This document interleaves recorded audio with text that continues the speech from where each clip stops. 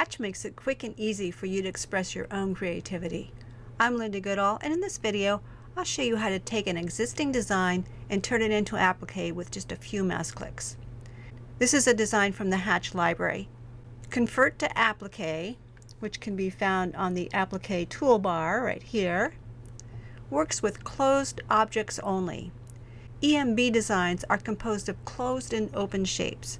To work with a stitch file, you'll need to make sure that you have your embroidery settings set to convert stitches into object shapes. This sun is quite small. In fact, it's less than two inches. But suppose I want to enlarge it.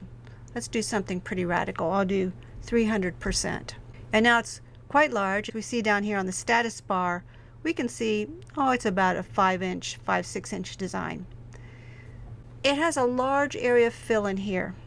Large areas of fill take a long time to sew, and they may not be particularly interesting. So let's change this sun to an applique. This item is grouped, so I'll need to ungroup it. Control A, Control U, and now I can select that yellow area and just hit the delete key. Now I'll select this orange border and I'll just say convert to applique. Let's add some fabric. So if I double click on that, it will open the object properties. I can click on applique fabric. I can click a fabric. I can choose a fabric in here. Let's choose polycotton. And I'll pick a color.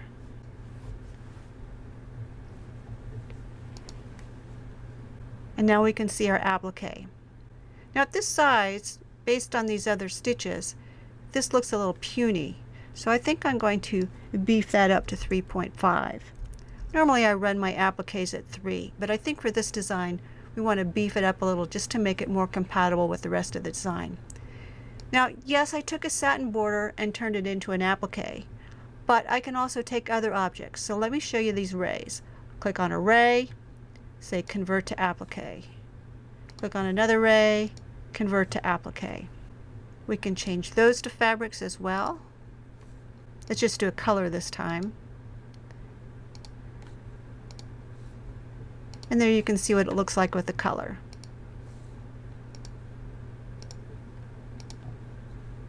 The real trick here is that you need to work with a closed object for the convert to applique to work.